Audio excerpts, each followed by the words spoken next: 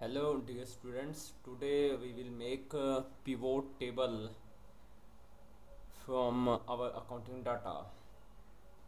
We are given the table of our accounting data sale 2005 2006 and 2007 our main branches are, are Delhi, Mumbai, Chandigarh, Chennai, Kolkata. And sale amount is given here now for making a pivot table select this table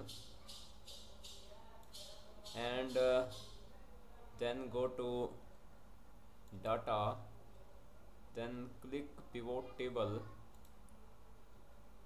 and click next and uh, next and finish. Now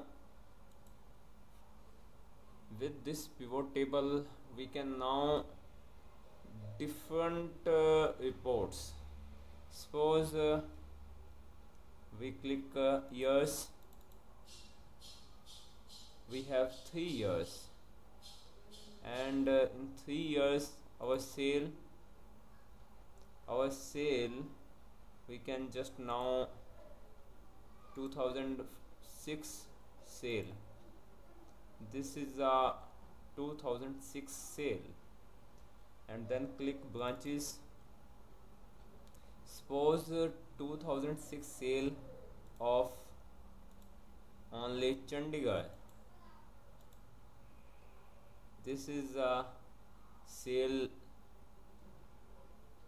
in Chandigarh is uh, 5000 suppose we want to know to 2005 sale in Chandigarh. And this is the 70000 5000 4000 and 70000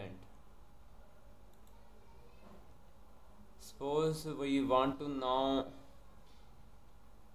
total sale of uh, Kolkata branch in all the years.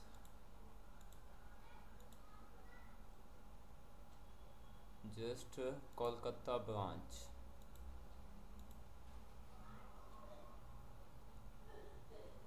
So this is a very important table which can be used by accountant.